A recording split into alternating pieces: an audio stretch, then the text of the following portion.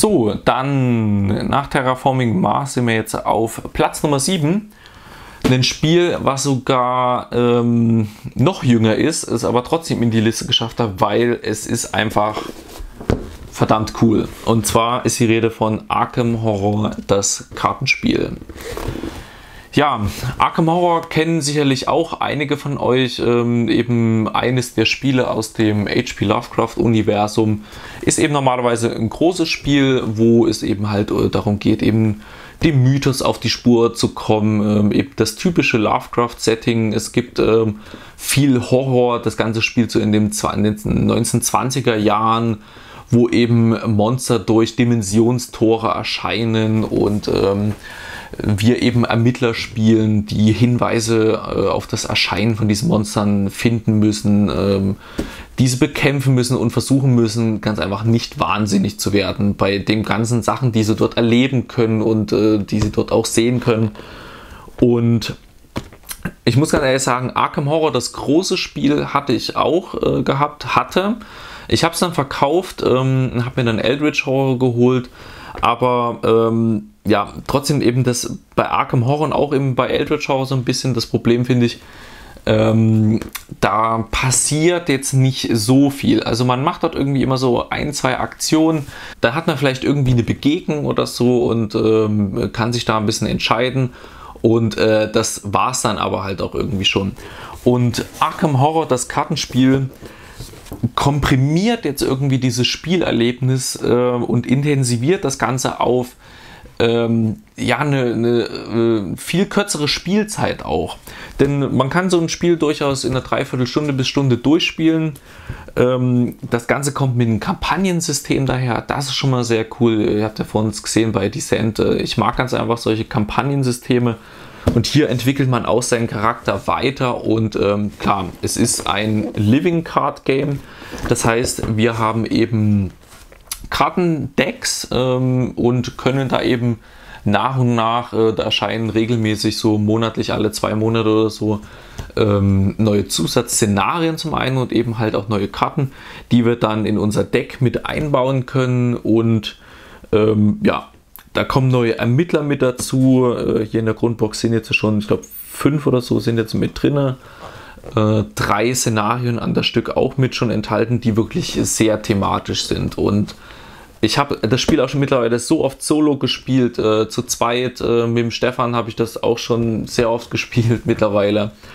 Und äh, das, keine Ahnung, also es macht wirklich riesen Spaß. Man hat jetzt, man fängt einfach gerne mal auch wieder von vorne an, weil die Voraussetzungen dann irgendwie anders sind. Es ist ähm, äh, cool dort ähm, mit den Handkarten, die man da auf der Hand hat, sich zu überlegen, was man damit jetzt Sinnvolles anfangen kann. Da muss man sich mit dem ähm, anderen Ermittler, der mitspielt, absprechen, äh, was ist jetzt die beste Taktik, da irgendwie äh, gegen die Monster zu kämpfen oder ganz einfach die Aufgabe zu erfüllen und auch vom Szenario her ist das richtig cool umgesetzt. Äh, da sind teilweise irgendwelche Zufälle mit dabei, äh, spannende Wendungen, äh, auch Entscheidungen, die man treffen muss, die sich dann auch auf spätere Teile der Kampagne auswirken. Also richtig klasse Spiel. Ist zugegebenermaßen auch mein erstes Living Card Game. Ähm, Habe ich bisher vorher noch nie irgendwie ja, mich rangetraut oder hat mich nicht so interessiert. Gab es ja schon diverse von, ja, mit Game of Thrones Thema, mit äh, Herr der Ringe. Und bei Arkham Horror war ich ganz einfach ähm, schon von der Thematik her äh, neugierig. Und ja, also definitiv spielerisch absolutes Highlight für mich und deswegen auch obwohl es erst äh, ein paar Monate alt ist, jetzt äh, auf Platz 7 schon bei mir. So, dann haben wir mal wieder ein klassisches Eurogame auf den Spuren von Marco Polo. Ähm, hat den deutschen Spielepreis genau hier 2015 gewonnen. Kam ja in dem Jahr in Nürnberg raus und der Name ist Programm, also wir spielen quasi so die Reise von Marco Polo nach ähm, und ja, müssen dabei viele äh, unterschiedliche Waren handeln. Es gibt äh, Gewürze, es gibt Gold, Kamele sind auch mit dabei und äh, wir müssen dort eben Aufträge erfüllen und eben halt auch umherreisen, äh, kommen dort in unterschiedliche Städte wo es unterschiedliche Boni gibt und ja, äh, richtig cooles Eurogame, macht mir sehr viel Spaß. Hat einen sehr coolen Würfel-Einsetzmechanismus, also quasi wir würfeln dort Würfel und das sind quasi unsere Arbeiter, die wir dann an den unterschiedlichen Positionen auf dem Spielplan einsetzen. Wenn wir zum Beispiel Waren bekommen wollen oder äh, reisen wollen oder ähm, hier auch neue Aufträge erhalten wollen oder halt auch ganz einfach äh, ein bisschen Geld erhalten wollen, dann machen wir das alles mit den Würfeln und da ist natürlich dann die Augenzahlen auch noch mit ein bisschen entscheidend, wie viel wir dann entsprechend davon bekommen. Ähm, wir können dann auch mehrere Würfel übereinander stapeln. Das ist, wenn eben äh, mehrere Spieler dann an demselben Ort die Aktion durchführen möchten. Normalerweise ist es ja bei den Worker Placement Spielen so, ähm, dass wenn ein Spieler den Ort oder eben die Funktion benutzt, dann ist die für alle anderen blockiert. Und das ist hier eben nicht so. Da kann man eben seine Würfel ganz einfach noch mit oben drauf setzen, muss aber dann eine gewisse Differenz quasi bezahlen dafür, dass man das macht. Es sei denn, man hat einen von den vielen Charakteren, ähm, die eben zu Spielbeginn ausgeteilt werden. Denn die haben alle teilweise sehr unterschiedliche Spezialfunktionen, wo das Spiel sich wirklich nochmal bei jedem Charakter gänzlich anders spielt. Man muss eben, und das ist halt dann auch die Herausforderung dabei, dass äh, die Funktion des Charakters ähm, an sein Spiel, an sein Spielverhalten in dieser, in dieser Partie anpassen. Und das finde ich wirklich cool, dass das das so ein bisschen vorgibt, äh, wie man diese Runde spielen soll. Entweder kann man sich eben das raussuchen oder man bekommt das zufällig zugeteilt. Und das finde ich wirklich sehr spannend. Ähm, außerdem wirklich thematisch auch recht gut umgesetzt, äh, diese, das mit dieser Reise dort oben und mit dem Handel von den Gewürzen. Also Marco Polo definitiv sehr cooles Spiel, was auch in ähm, unterschiedlichen Spieleranzahlen äh, sehr gut funktioniert. Und da ist es ja so, dass dieses Jahr, genau, zu Essen sollte dort äh, eine Erweiterung dann jetzt erscheinen. Bisher gab es ja nur kleine Promo-Sachen, also irgendwie neue Charaktere und sowas in der Art, neue Aufträge. Und eine erste Erweiterung soll dann jetzt dieses Jahr in Essen erscheinen. So, das war Marco Polo, mein Platz 6. Dann geht es weiter mit Time Stories. Time Stories mein Platz Nummer 5. Und ja, also Time Stories äh, ist, sag mal, für mich ein bisschen erst eine Liebe äh, in ja, zweiter Runde, sag ich mal, die ich dort entdeckt habe für mich. Denn meine ersten Partien, die ich Time Stories gespielt habe, die habe ich äh, zu zweit gespielt, weil klar, man steht ja auch auf der Schachtel irgendwo drauf, dass man auch zu zweit spielen kann und äh, ja, ich dachte mir, so schlecht kann es dann jetzt auch nicht sein, dass wenn man das jetzt einfach, dass man das dann jetzt einfach nur zu zweit spielt. Das muss ja irgendwie auch funktionieren. Und ähm, fand das dann so okay. Ich fand es gut, ja, war jetzt äh, schon mal was anderes irgendwie, die Nervenheilanstalt, die ich da gespielt habe. Interessant, das mit den Rätseln und so weiter, das hat mir schon gut gefallen. Aber ja, irgendwie war es dann jetzt doch nicht so der Bringer. Bis auf vor ganz kurzer Zeit erst, wo ich Time Souls dann nochmal rausgeholt habe und ähm, zu dritt gespielt habe, ist auch noch nicht die Idealbesetzung. Ich weiß, eigentlich sollte man es zu viert spielen, aber ähm, ich habe es zu dritt gespielt nochmal, habe dann die Drachenprophezeiung gespielt und ähm, ja, das hat mich wirklich umgehauen. Also dort war ich extrem begeistert, überrascht irgendwie von dem Spiel, was da drin steckt. Ähm, ich denke mal, ihr kennt es sicherlich. Also ähm, Time Story ist eben ein Zeitreisespiel, wo wir äh, unterschiedliche Szenarien haben. Also in dem Grundspiel ist auch nur ein Szenario drin. Es kommt, ähm, ja, ungefähr pro Quartal soll jetzt äh, mittlerweile der Zyklus sein. Äh, bisher hat das nicht so ganz gepasst. Kommt eben ein neuer Fall dazu und ähm, ja, wir versuchen dort als äh, Wirte quasi, also wir schlüpfen dort in Wirte von dieser Zeit, wo uns das Szenario eben hinbringt und versuchen dort eigentlich einen Riss in der Zeit zu verhindern, dass der irgendwie entsteht. Das können ganz unterschiedliche Dinge sein, die das äh, unter Umständen hervorrufen. Äh, aber das Spannende dabei ist ganz einfach, dass jeder Fall wirklich dort sich komplett anders spielt. Also die, die ich bis jetzt gespielt habe, sind vom Gefühl her komplett anders und das ist halt wirklich eine Riesenstärke von dem Spiel, dass ähm, einfach mit Time Stories kommt da jetzt mit dieser Schachtel kommt ein Grundbaukasten daher und mit jedem Szenario, je nachdem wie das dann genutzt wird, können da ganz unterschiedliche Erfahrungen rauskommen und eben in dieser Runde zu dritt mit der Drachenprophezeiung, das fand ich richtig klasse. Und das hat mir ganz einfach mal gezeigt, eben, dass das Spiel eben, wenn es in der richtigen Runde gespielt wird, auch richtig geil ist, ganz einfach. Und dort sein volles Potenzial entfaltet und ist vielleicht eben ein bisschen problematisch, ähm, dass man dafür die richtige Spieleranzahl und die richtige Runde braucht. Aber dann äh, ist es halt wirklich der Burner und äh, was man dort eben alles entdecken kann. Das Artwork allein ist schon immer klasse. Jeder Fall hat ein anderes Artwork.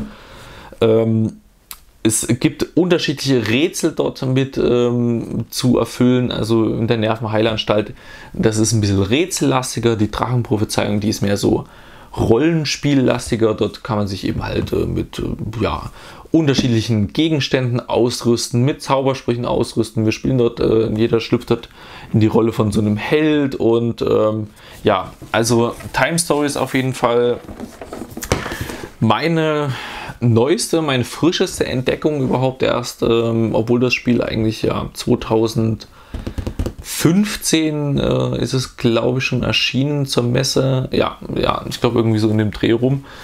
Ähm, ja, also was soll ich weiter sagen? Time Stories, ähm, klasse Spiel, gefällt mir sehr gut, freue ich mich auf jeden Fall schon auf die weiteren Szenarien, die da noch kommen. So, der Stapel hier drüben, der wird langsam voller, aber wir haben auch nur noch vier Spiele, wobei der Platz 4 ist eine Riesenschachtel. Oh Gott, kann ich gar nicht richtig greifen. Ja, Imperial Assault. Ähm, ihr habt ja vor uns gesehen, ich hatte Descent auf meiner Liste gehabt und der Schritt von Descent, äh, wenn man Star Wars Fan ist, zu Imperial Assault, der ist eigentlich nicht weit.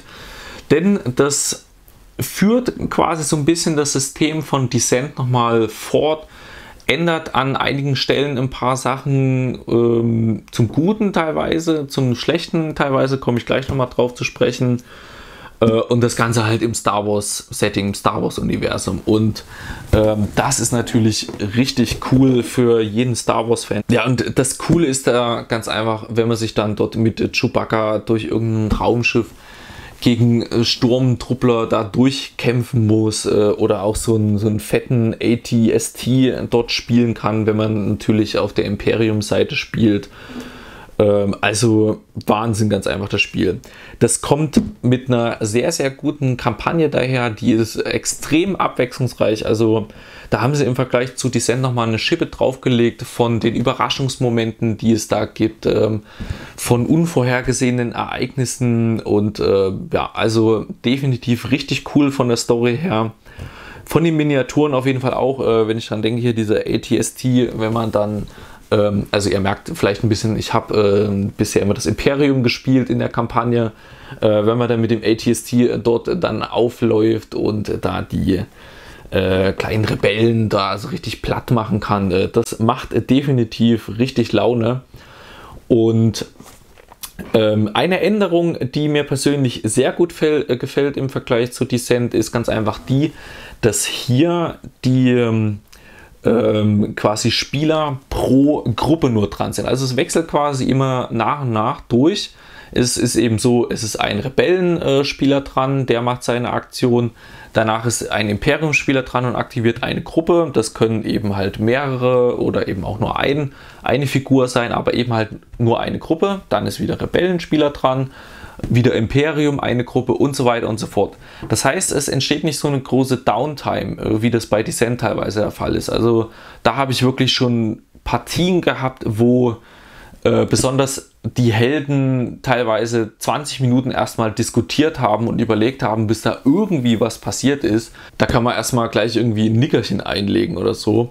Äh, genauso auf der anderen Seite für die, äh, für die Helden ist es bei Descent teilweise auch schwierig, wenn der Overlord ganz viele Figuren irgendwie hat und ähm, der, der arbeitet ja dann quasi alle in seinem Zug nacheinander ab und da natürlich erstmal überlegen muss, welche in, in, welcher Reihenfolge jetzt und was machen wir mit den Aktionen und ja, da kann es teilweise auch schon lange dauern, bis da irgendwie für die Helden was passiert äh, und das, was passiert ist, dann meistens eben, dass sie dann nur Verteidigungswürfel werfen müssen. Also das ist wirklich definitiv ein Punkt, der mir in Imperial Assault viel besser gefällt. Ähm, neben der Story, äh, neben den ganzen Szenarien, die mir hier auch besser gefallen. Ähm, ein Wermutstropfen hat das Ganze und zwar der ist auf der Seite von dem Overlord, sprich eben hier in Imperial Assault von dem ähm, Imperiumsspieler.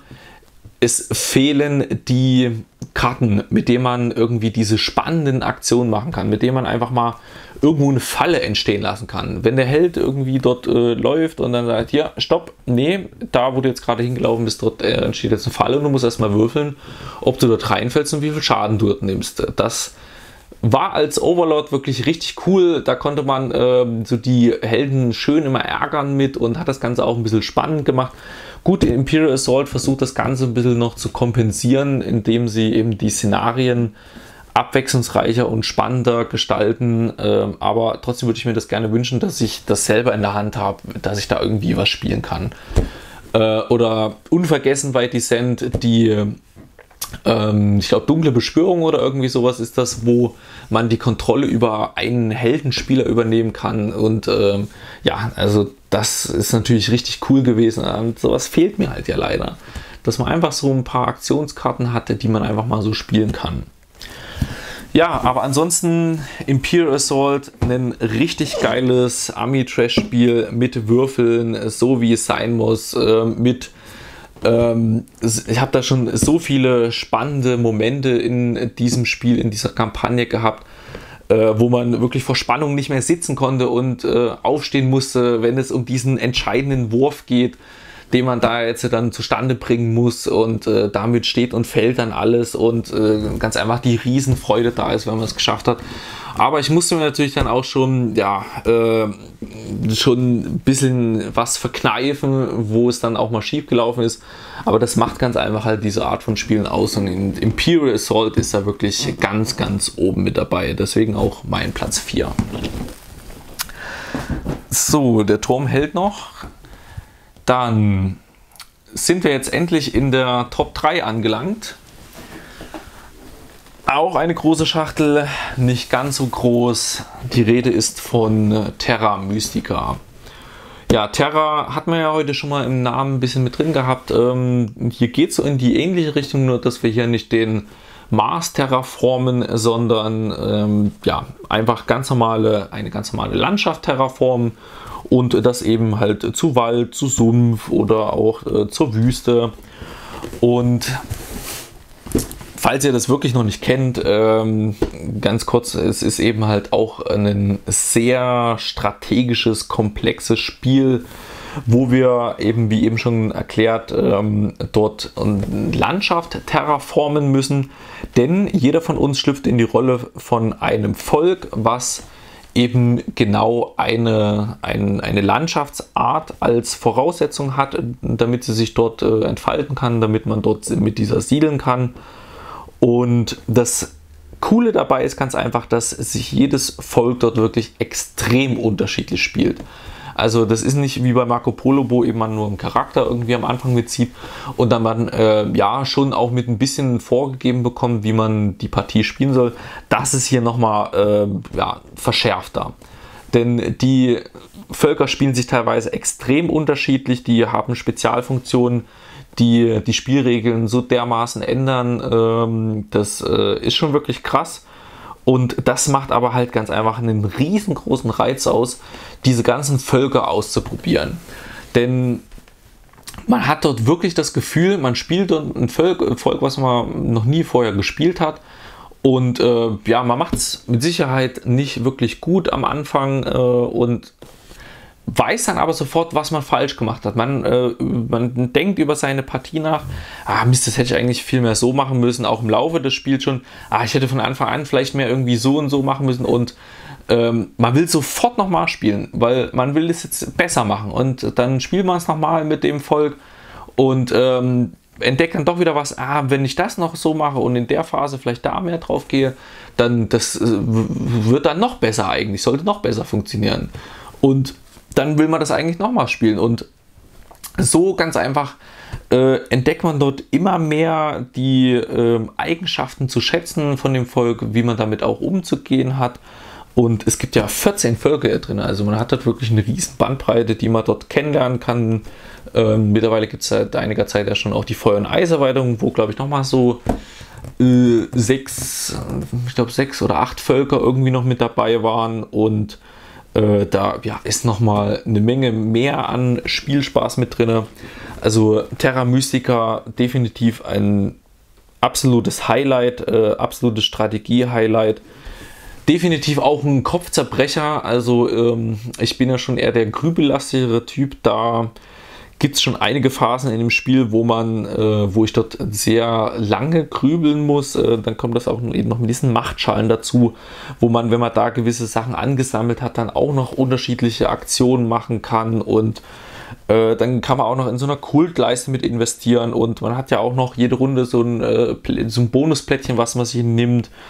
Und, äh, und, und, und, und. Also es gibt dort so viele Sachen, die man damit beachten muss, äh, ja, die das Ganze eben schon ein bisschen grübelastig machen, aber das äh, macht ganz einfach halt auch Spaß, weil das ist eine riesengeile Herausforderung, ähm, in der man dort richtig aufgehen kann, in dem Grübeln und Nachdenken.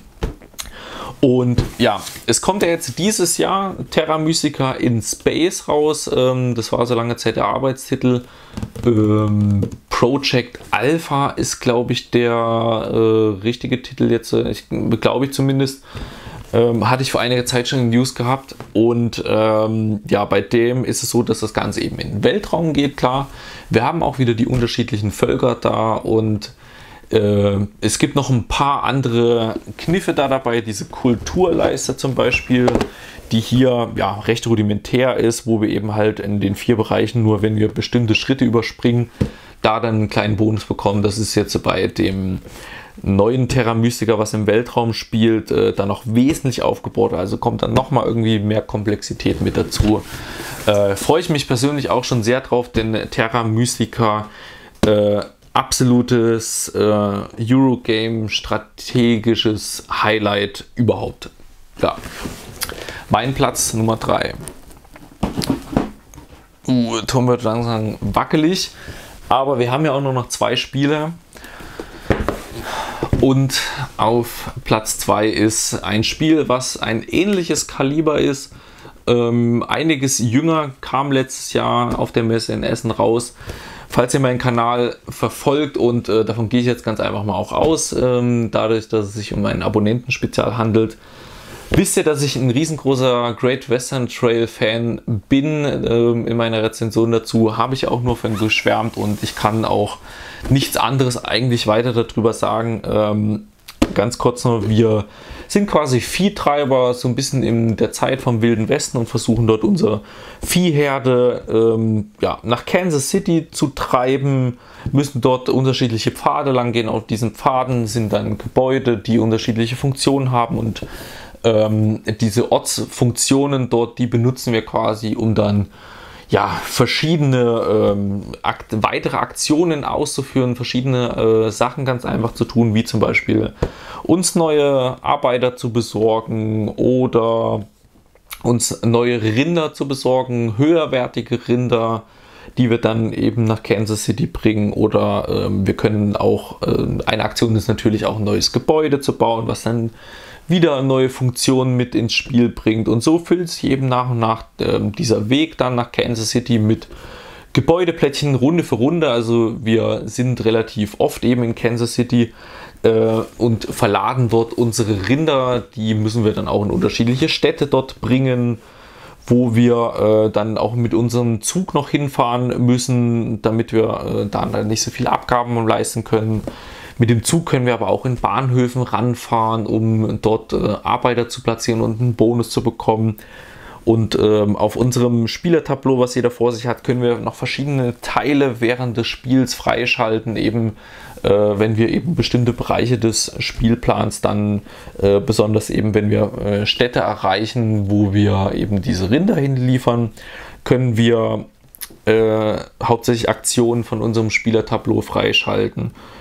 Und ähm, ja, dann gibt es noch einen kleinen Deckbaumechanismus da drin, eben diese Rinderherde, die wir da nach Kansas City treiben, haben wir als ähm, Deckkarten quasi auf der Hand und ähm, deswegen gibt es da auch nochmal ein kleines Element und ja, also ihr merkt schon, es gibt viele, viele, viele kleine ähm, Stellschrauben in diesem Riesensystem äh, an Spiel, die es zu entdecken gibt. Und ähm, es gibt dort wirklich wahnsinnig viel zu entdecken, welche Kombinationen da jetzt gut sind, welche bringen Punkte, welche sind weniger gut und ähm, das ist halt wirklich absolut grandios umgesetzt bei Great Western Trail. Das ist eine wahre Freude, das alles zu entdecken, welche Kombinationen funktionieren gut, äh, welche äh, oder halt auch zu erfahren, äh, welche funktionieren weniger gut und wo müsste ich da vielleicht irgendwie was verbessern das nächste Mal. Und teilweise auch im Laufe des Spiels, wo man ähm, noch Entscheidungen treffen muss, äh, oh, gehe ich jetzt vielleicht noch irgendwie dorthin, weil da die Auslage gerade passt. Äh, also grandios vom Thema her holt es mich auf jeden Fall total ab. Ähm, ich weiß, einige Leute sind vielleicht ein bisschen enttäuscht, weil äh, oder warum Great Western Trail noch vor Terraforming Mars ist. Äh, bei vielen ist es andersrum, bei mir definitiv nicht. Äh, Great Western Trail holt mich thematisch und von diesen kleinen Mini-Spielmechanismen, die es zu entdecken gilt, die so wunderbar ineinander verzahnt sind, auch holt mich einfach viel mehr ab ähm, Terraforming Mars, keine Rede, ist natürlich auch ein großartiges Spiel, deswegen ist es ja auch in meiner Top-Liste mit drin. Aber das legt ganz einfach nochmal eine Schippe drauf. Es geht auch ein bisschen in eine andere Richtung. Äh, man kann die, diese beiden Spiele jetzt nicht hundertprozentig miteinander vergleichen, denn ja, Terraforming Mars ist im Prinzip ein Engine-Building-Spiel mit Spielplan, wo noch ein paar Aktionen mit sind und das ist einfach eine wunderbare Sammlung von äh, kleinen Mechanismen, die so äh, klasse eben zusammen verzahnt sind. Äh, ja, das ist äh, vom Spieldesign her, finde ich, was anderes und spricht mich eben mehr an. Great Western Trail, mein Platz Nummer 2. So, jetzt muss man das mal hier hinlegen, bevor dann der ganze Turm zusammenfällt. So, und ja, ich möchte es ja ein bisschen spannend machen. Äh, wir haben jetzt schon fast eine Stunde Video. Ich hoffe, ihr seid jetzt überhaupt noch dran. Äh, vielleicht habt ihr auch einfach bis jetzt so vorgespult. Äh, ich kann es verstehen. Ähm, Mache ich bei einigen Toplisten natürlich auch immer gerne so. Aber mein Platz 1 ist für mich wirklich schon ein besonderes Spiel. Ist, denke ich mal, wenn man sich den Stapel jetzt hier anschaut, könnte man es erahnen. Ähm, ist aber ja eigentlich auch schon ein bisschen überraschend ja, ich möchte nicht weiter um, Brei, um heißen Brei rumreden, sondern einfach auf den Tisch stellen. Und zwar ist die Rede von Mage Knight. Mage Knight, ähm, ein Spiel, was wirklich so viele Sachen richtig macht in meinen Augen. Ähm, es ist ein Fantasy-Spiel, das ist auf jeden Fall schon mal ein äh, großer Pluspunkt. Es hat einen sehr, sehr markanten Deckbaumechanismus drin ähm, man kann dort äh, erforschen, man kann dort eben die Karte nach und nach aufdecken. Wir kämpfen dort gegen Monster, äh, gegen Magier, gegen richtig schwere, fiese Gegner und ähm, können dabei aber auch selber Entscheidungen treffen, die eben halt äh, für unsere Moral oder beziehungsweise für unser Ansehen entscheidend sind. Äh, wir können uns eben entscheiden, ein Kloster zum Beispiel einfach mal niederzubrennen, bekommen natürlich dafür richtig coole Sachen. Äh, unser Ansehen sinkt aber dann dabei, was es uns wiederum äh, erschwert, irgendwie Söldner anzuheuern dann in der nächsten Stadt.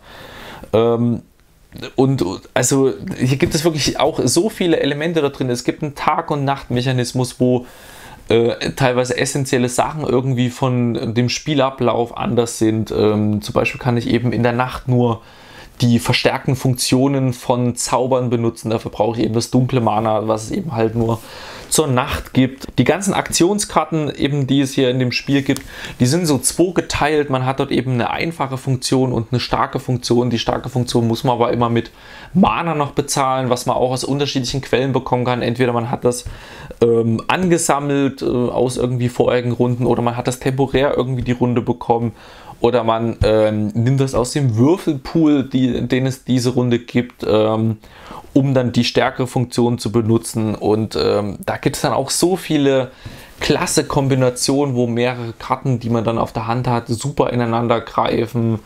Ähm, das Ganze noch gepaart mit, äh, ähm, komme jetzt nicht auf den Namen, mit äh, ja, so einer sagen wir mal, speziellen Funktion, die man jetzt äh, pro Tag oder pro Nachtseite hat. Dann nimmt man sich immer eine von, ähm, ich glaube, acht Karten sind es, die man sich da raussuchen kann, die einen für diese komplette Tag- oder Nachtseite eben eine besondere Aktionsmöglichkeit oder Funktion bringen. Also da gibt es so viele Sachen, ganz einfach, so viele Komponenten dort in dem Spiel.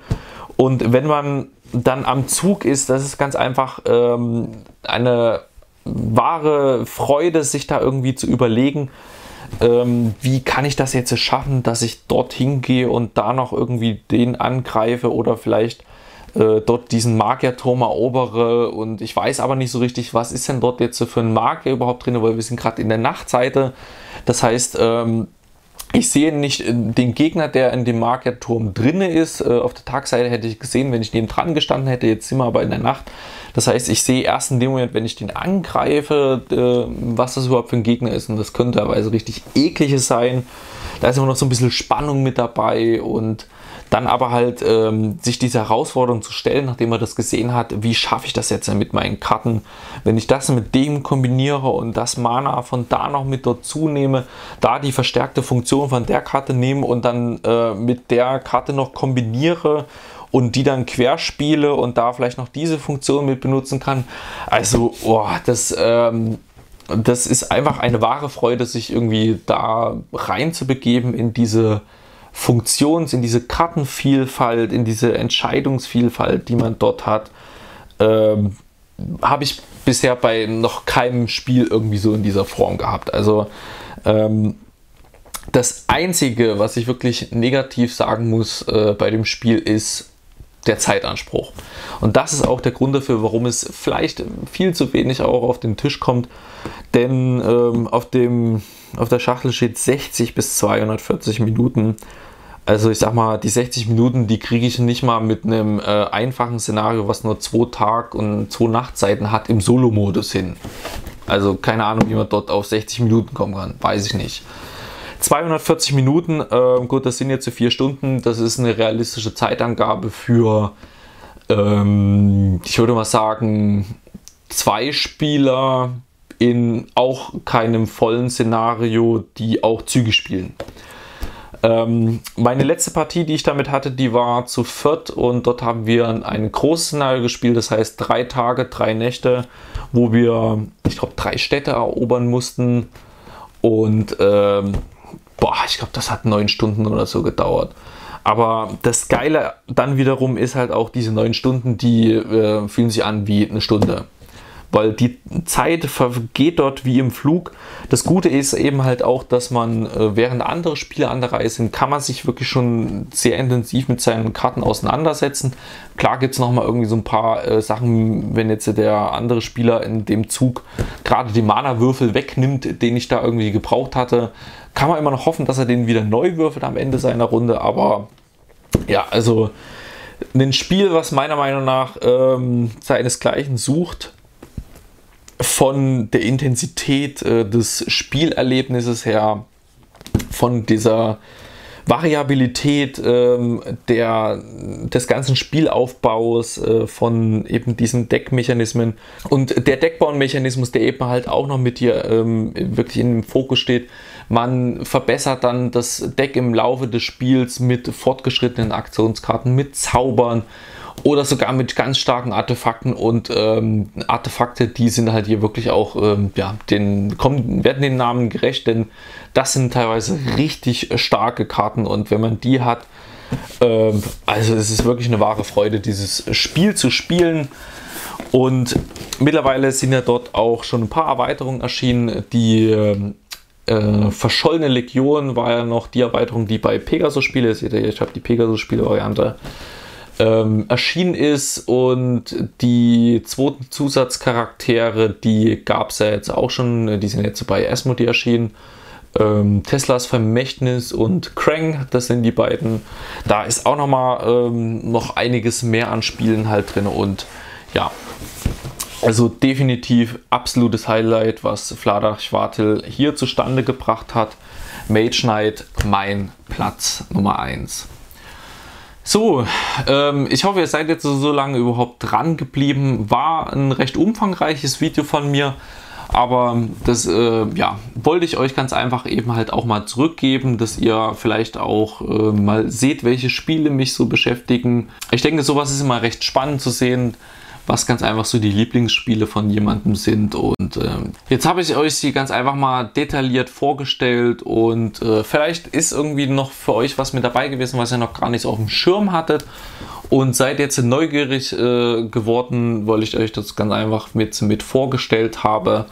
Und ja, Ansonsten bleibt mir nochmal abschließend zu sagen, vielen Dank auf jeden Fall. Ich hoffe, ihr bleibt mir weiterhin treu und äh, ich hoffe, es kommen auch noch viele Abonnenten mit dazu. Ich glaube, momentan ist jetzt so der Stand bei 560 rum. Ähm, das nächste Spezial, ja, mal gucken, wann ich es machen werde. Ob ich bei 750 jetzt noch was machen werde oder bei 1000 dann erst. Schauen wir mal, wie es dann jetzt vorangeht weiter. Und ähm, ja, ich bedanke mich auf jeden Fall bei euch ähm, fürs Zuschauen, fürs Kommentieren. Ihr könnt gerne auch in den Kommentaren ähm, ja, was zu den Spielen sagen, ob ihr das auch so seht, wie ich die Platzierung eben bei den Spielen verteilt habe oder ob ihr da irgendwie vielleicht noch ein anderes Spiel weiter vorne gesehen hättet. Könnt ihr gerne mal runterschreiben. Ansonsten eben, ja, danke auch für einen Daumen nach oben und ich sage dann einfach Tschüss, bis zum nächsten Mal.